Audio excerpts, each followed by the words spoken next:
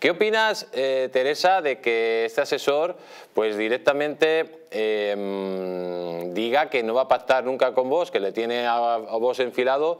por unas pequeñas rencillas casi de, pueblo, como digo yo?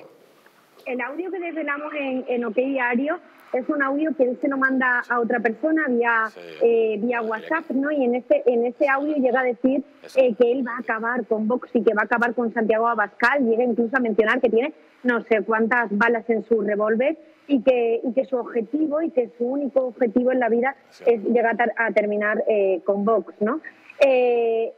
esto es una conducta de que